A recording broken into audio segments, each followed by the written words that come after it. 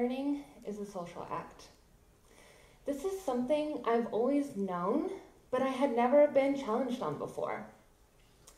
The key to community is vulnerability. And according to Brené Brown, staying vulnerable is a risk we have to take if we want to experience connection. Risk is a journey of discovery. Students and teachers navigate through uncharted waters, encountering both challenges and opportunities for growth. Let me tell you about a risk I took in my classroom. Let's travel back to August of 2022. I had just embarked on a voyage to a new country for a new job. Through a set of circumstances, suddenly, less than a week before the students were starting their new school year, I was going to be teaching two upper level exam courses that I had never taught before. The first one was an AP class that I had taught before, so I thought, great, no problem, smooth sailing. I was also teaching another AP course, one that was new to me, so I thought, okay, this is going to be a learning year, but I'll figure it out. And finally, I was teaching the second year of an IB DP course. I had never taught IB before. And the teacher who had my class for the first year of their program was a beloved long timer who had retired. My students, who were then in their senior year, loved their teacher. These were big shoes to fill. I knew this was going to be challenging, and it was.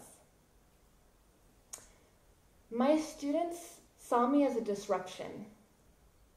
They were not meeting me halfway. As I spent long hours crafting lessons and activities, I was met with reluctance.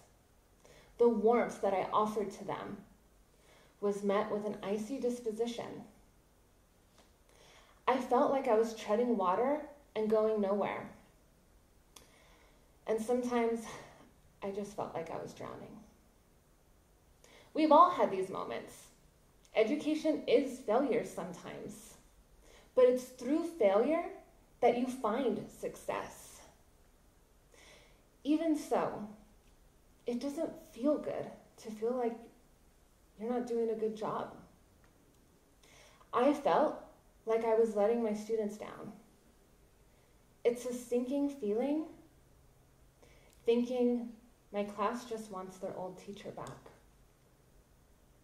So I decided to take a risk, just as Brene Brown suggests.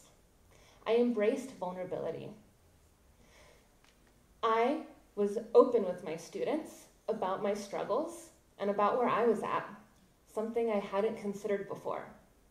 It's scary to share with students that I was feeling like a failure. I decided to listen to their thoughts and their feedback more consciously, and that provided me navigation. It gave me guidance. But I still held them accountable. They needed to meet me halfway.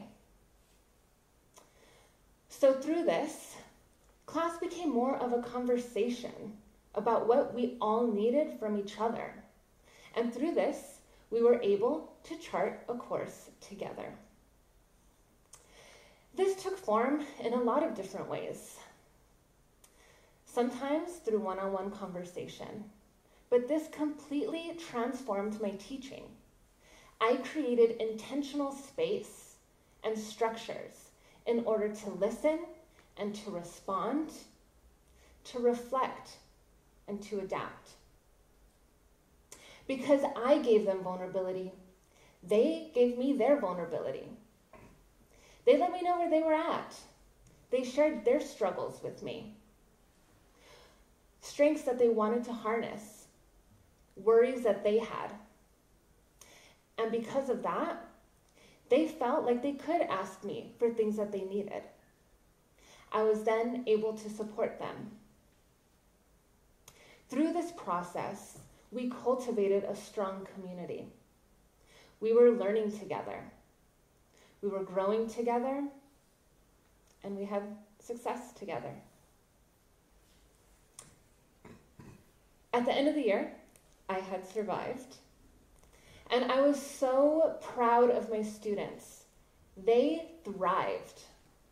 Through taking the risk of being vulnerable with each other, we were able to share our concerns, our struggles, our worries, and connect. This is what allowed us to create a strong community.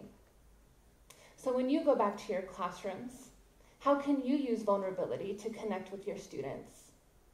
What structures can you put in place for feedback and to adapt, for student choice, for being able to listen and to respond. Maybe things just aren't working either. And vulnerability might be the answer. Because one thing I learned from last year is that learning is a social act. Thank you.